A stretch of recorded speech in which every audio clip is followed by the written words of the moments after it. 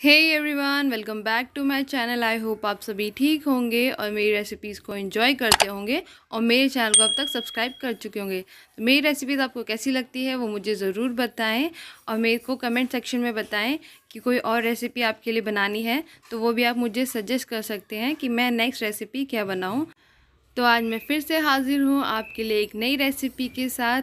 ये बहुत टेस्टी सी रेसिपी है। तो आज हम बनाएँगे लोबिया की रेसिपी वो भी बिल्कुल अलग स्टाइल में और ये बिल्कुल ही हटके स्टाइल होगा तो आप इसे ज़रूर ट्राई करना। तो हमने यहाँ पे लगभग 200 ग्राम लग लोबिया लिए थे, ये हमने धो लिए थे लोबिया हमने इसे पाँच से छः घंटे के लिए भिगो के रखा था। भिगोने के बाद इसे हमने अच्छे से धो लिया है, और उसके बाद हम इसे उबालने के लिए रख देंगे।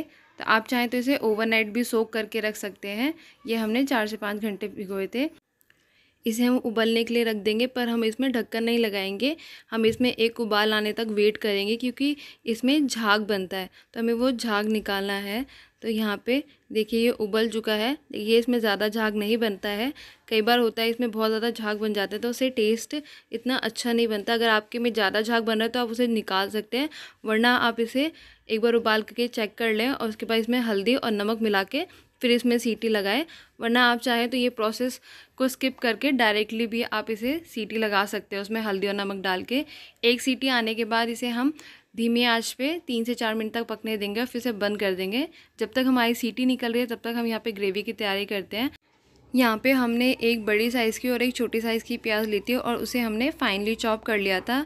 हमारी प्याज चॉप हो चुकी है और फिर यहाँ पे हमने ली थी तीन हरे मिर्च, दो छोटे टमाटर और कुछ लहसन की कलियाँ ली थी हमने और इनका हमें पेस्ट बनाना है। इनकी हम प्यूरी बना लेंगे। इसके बाद हम एक और पेस्ट बनाएँगे। उसके लिए हम लेंगे दही। दही को हमने अच्छे से फेंट लिया था। इसमें हम मिलाएँगे लाल मिर्च पाउडर। स्वाद अनुसार मिलाएँ आप। उसमें हम मिलाएँगे हल्दी पाउडर और फिर धनिया पाउडर। धनिया पाउडर हमें ज़्यादा यूज़ करना है तो धनिया पाउडर की क्वांटिटी हम ज़्यादा लेंगे और बाकी आप मिर्च की क्वांटिटी अपने हिसाब से ज़्यादा कम कर सकते हैं। और फिर इसको हम अच्छे से मिक्स करके इसका अच्छा सा पेस्ट बना लेंगे। ये पेस्ट फ्लेवर का वो एलिमेंट है जो कि पूरी डिश को चेंज करके रख देता है। कढ़ाई यहाँ पे हमारी अच्छे से गर्म हो चुकी है।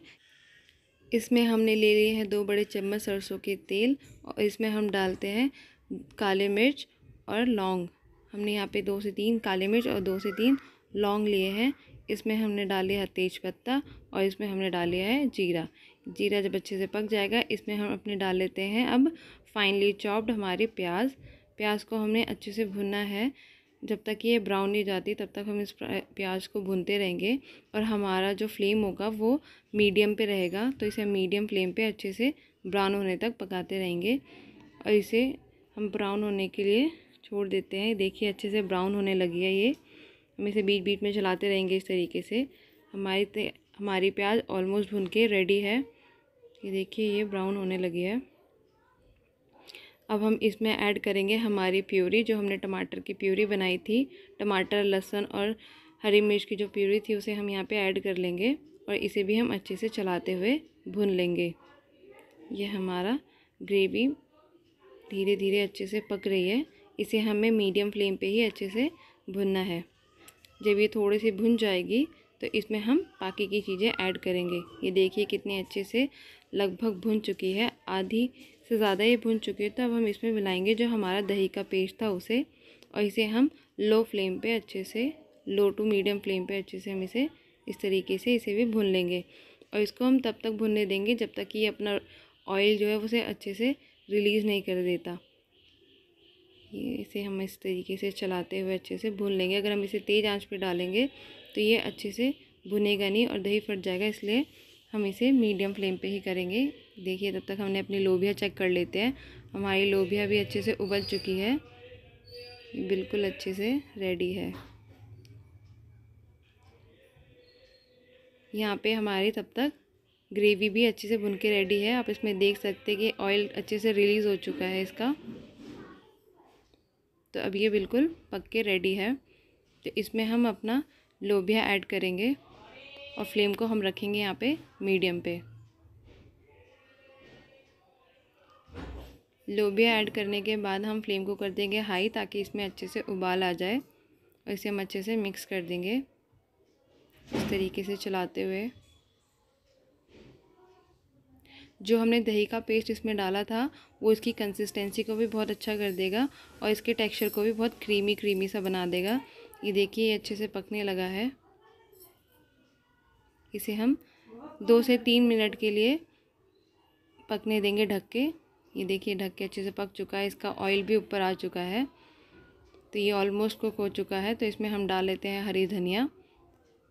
हरी धनिया ऐड करने के बाद एक से दो मिनट इसे हम और पकने देंगे। इसे हम अच्छे से मिक्स कर लेते हैं। इसकी देखिए कंसिस्टेंसी कितनी अच्छी हो गई है। एक दो मिनट पकाने के बाद हम इसमें डाल लेंगे हमारा गरम मसाला। गरम मसाला आप स्वाद अनुसार डाल सकते हैं क्योंकि हमने पहले भी खड़े मसालों का इस्तेमाल किया है। तो आप इसीलिए इसको कम या ज़्यादा भी डाल सकते हैं और आप चाहें तो स्किप भी कर सकते हैं, तब भी ये बहुत टेस्टी लगेगा। देखिए कितना अच्छी सी इसकी कंसिस्टेंसी है और ये कितना क्रीमी क्रीमी सा लग रहा है।